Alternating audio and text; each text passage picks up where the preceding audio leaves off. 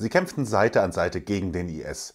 Doch seit dem Sieg gegen die Islamisten nehmen die Spannungen zwischen Peschmerga und den Guerillas der PKK zu, bis hin zu direkten Feuergefechten.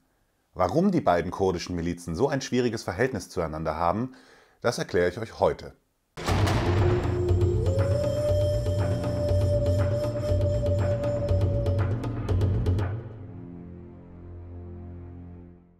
Hallo zusammen, hier ist wieder Konstantin und gerade gab es wieder Gefechte zwischen Kämpfern der PKK und Soldaten der kurdischen Peschmerga. Und es gab dabei Verletzte und auch Tote und ich habe gedacht, das wäre jetzt mal ein guter Anlass, ein guter Zeitpunkt, um dieses Video zu machen, das ich schon länger vorhatte, nämlich die Differenzen und gerade so dieses schwierige Verhältnis zwischen den Einheiten der PKK und den Peschmerga, das Ganze mal ein bisschen zu erklären und zu beleuchten. Und wenn euch solche Themen interessieren, kurdische Geschichte, Militärgeschichte, Konflikte im Nahen Osten, dann wie immer würde es mich freuen, wenn ihr diesen Kanal abonniert und ihr kriegt dann immer mit, wenn hier neue Videos hochgeladen werden von mir.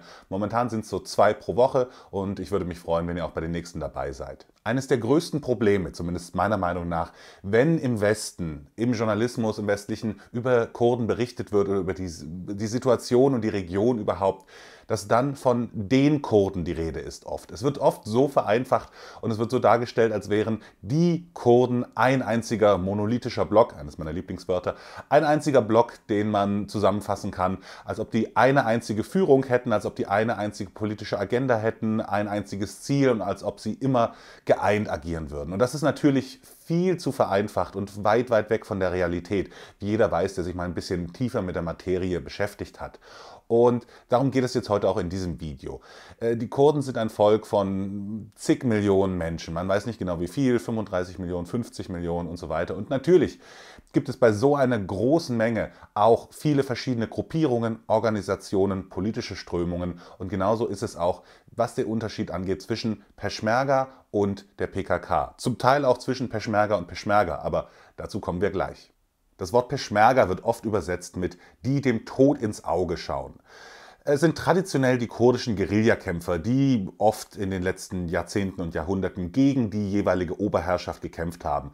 Äh, gegen verschiedene persische Reiche, gegen die Osmanen und ab Beginn des 20. Jahrhunderts dann auch gegen die Briten als Kolonialherrscher. Und sie waren in ihrer Geschichte eigentlich immer eine Guerillatruppe bis 1946. Wenn ihr euch vielleicht erinnert, da wurde die Republik Kurdistan ausgerufen. Also ein eigener Staat mit der Hauptstadt Mahabad. Deswegen oft auch Republik Mahabad, aber offizieller Name war Republik Kurdistan. Und da wurden die Peschmerga zum ersten Mal die offizielle Armee eines Staates. Dieser Staat existierte auch nicht lange.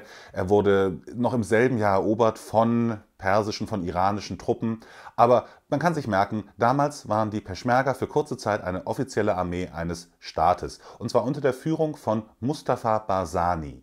Der ging mit Tausenden seiner Peschmerga nach der Eroberung von Mahabad zurück in die kurdischen Gebiete des Iraks und eben seine Peschmerga folgten ihm. Und seitdem sind die Peschmerga hauptsächlich im kurdischen Teil des Iraks zu verorten. Es gibt auch noch ein paar Peschmerga in äh, Rojava, das sind die Rojava-Peschmerga, ist ein anderes Thema. Ist auch nicht so bedeutend wie jetzt die Peschmerga in der autonomen Region Kurdistan im Norden des Iraks. Da sind sie auf jeden Fall die offizielle Streitmacht. In den 70ern kam es dann zu einer Spaltung innerhalb der irakisch-kurdischen Bewegung. Der bisherige Anführer Mustafa Barzani, der gehörte der KDP an, der Demokratischen Partei Kurdistans. Und einer der Anführer dieser Partei, Jalal Talabani, der verließ die KDP und gründete seine eigene Partei, die PUK, die Patriotische Union Kurdistans. Und seitdem sind die Peschmerga auch im Norden des Iraks keine einheitliche Streitkraft. Es gibt kein einheitliches Oberkommando, das alle Peschmerga ähm, befehligen könnte. Beide Parteien, also die PUK und die KDP, Beide Parteien unterhalten eigene Truppen, eigene Peschmerga-Verbände. Es gibt noch andere kleinere Parteien, die auch kleinere Peschmerga-Verbände haben, aber die aller, aller, allermeisten sind unter Kommando der KDP oder der PUK und damit eben auch der Familien Barzani häufig und Talabani. Und die Differenzen zwischen diesen beiden großen Parteien, der KDP und der PUK, die führten dann in den 1990ern sogar zu einem Bürgerkrieg, dem kurdischen Bruderkrieg, in dem Peschmerga gegen Peschmerga gekämpft haben. Es gab 5000 Tote. Darüber werde ich mal ein eigenes Video machen. Aber auf jeden Fall eine ganz dunkle Geschichte und das, was ich angedeutet habe, dass auch Peschmerga nicht gleich Peschmerga ist und damals kämpften verschiedene Peschmerga-Einheiten gegeneinander. Es gab dann Gott sei Dank irgendwann ein Friedensabkommen, auch unter der Vermittlung der USA und seitdem sind die Peschmerga, wie schon gesagt, so die offiziellen Streitkräfte der autonomen Region Kurdistan im Norden des Irak. Ähm, sie sind oft entlang der Parteilinien zu verorten, also die KDP unter Basani, die hat so hauptsächlich die Kontrolle über die, die westlichen Teile der Autonomieregion, also ähm, Duhok und Erbil, während die PUK und ihre Peschmerga den östlichen Teil kontrollieren, also Sulamania und Halabja. Und es ist ganz wichtig zu sagen, dass die Peschmerga international auch anerkannt sind als solche, also als Streitkräfte der Autonomieregion. Die haben internationale Anerkennung und sie werden auch international unterstützt. Unter anderem natürlich von den USA, aber auch ganz besonders von Deutschland. Es gibt deutsche Ausbilder für die Peschmerga und es gibt deutsche Waffenlieferung an die Peschmerga. Die Geschichte der PKK beginnt sehr viel später als die der Peschmerga. Die beginnt nämlich auch in den kurdischen Gebieten der Türkei, also nicht im Irak, sondern in der Türkei. 1978 gründet Abdullah Öcalan die Arbeiterpartei Kurdistans, die PKK, und sie ist von Anfang an stark marxistisch ausgerichtet und wird vom Westen und natürlich von der Türkei als Terrororganisation eingestuft. Die bewaffneten Milizen dieser PKK, dieser Partei, die sind die HPG. Das wird oft gar nicht so genau unterschieden. Also man sagt, die PKK ähm, hat bewaffnete Gruppen, das ist ja auch richtig, aber die HPG, wenn man ganz genau sein will, ist die bewaffnete Gruppe, die der PKK untersteht. Aber ähm, meistens, wenn man von PKK-Kämpfern redet, dann ähm, sind die damit gemeint. Die PKK hat Schwesternparteien in allen Teilen Kurdistans, also in äh, Irak, in Syrien und im Iran. Und in den 1980ern führte die PKK einen Bürgerkrieg gegen den türkischen Staat, bei dem bis zu 40.000 Menschen ums Leben gekommen sind. Und im Zuge dieses Bürgerkrieges hat die PKK-Führung dann irgendwann die äh, kurdischen Gebiete der Türkei verlassen und sind ins Nachbarland in den Irak übergesiedelt, nämlich in die Kandilberge, also ganz nah an der türkischen Grenze. Und dort sitzt auch heute noch das Oberkommando der PKK. Und das ist schon die Ursache oder eine der Ursachen dieses Konfliktes. Denn die Regierung in Erbil, die von der KDP gestellt wird und ähm, von den Basanis, die hat traditionell gute Beziehungen zur Türkei. Denn das ist auch ganz wichtig, denn ohne die Türkei könnte die autonome Region Kurdistan wirtschaftlich wahrscheinlich nicht existieren. Es ist der größte Handelspartner, die Exporte gehen von da ähm, in die Welt.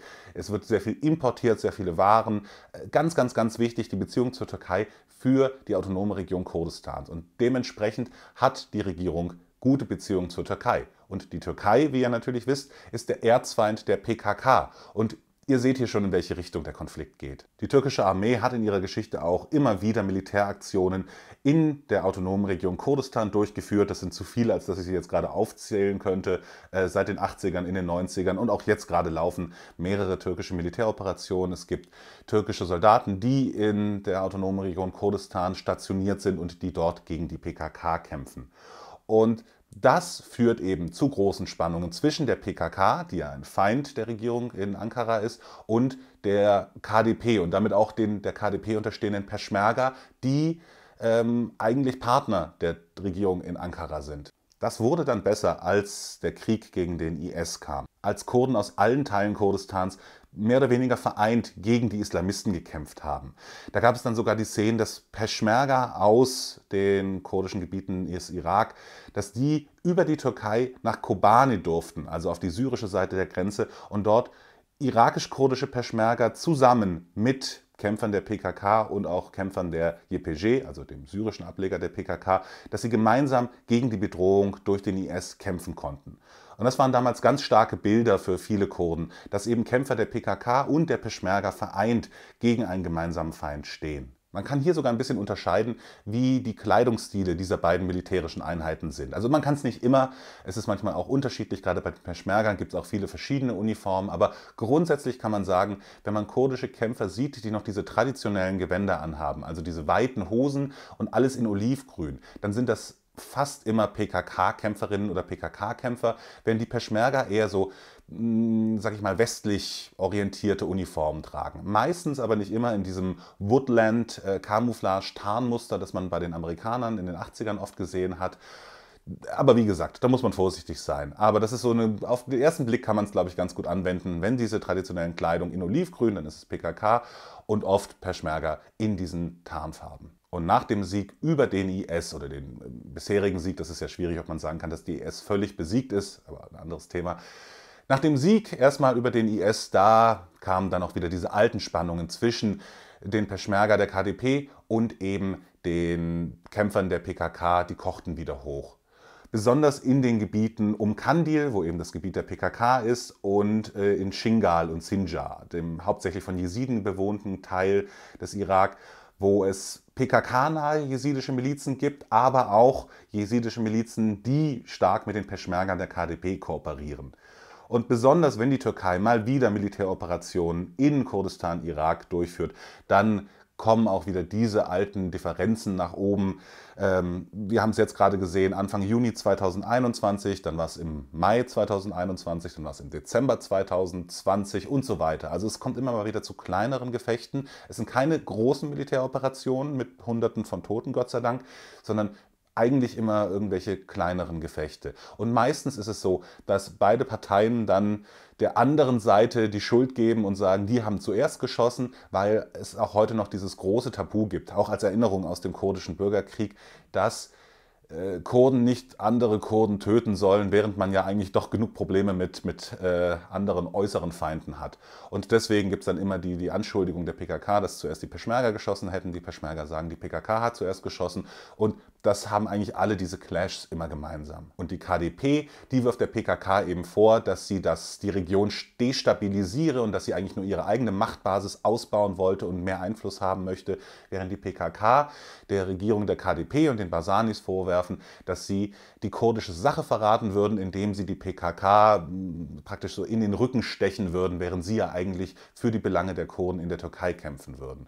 Und ihr seht, dieser Konflikt ist, ähm, der ist sehr alt, der wird auch nicht so schnell gelöst werden und es ist abzusehen, wie sich das entwickelt. Ob Friedensgespräche auch in Syrien zwischen den Parteien, ob da vielleicht irgendwie was dazu beitragen kann, ob man irgendwie eine Möglichkeit findet, zumindest die bewaffneten Konflikte so ein bisschen vorzubeugen oder ob das weitergehen wird, dass es immer mal wieder zu kleinen Gefechten geben wird zwischen kurdischen PKK-Kämpfern und kurdischen Peschmerga-Kämpfern.